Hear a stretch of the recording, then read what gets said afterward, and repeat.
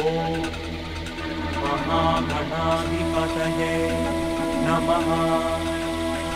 गुरुब्रह्मा गुरुविष्णु गुरुदेवो महेश्वरः। गुरुसाक्षात् परब्रह्म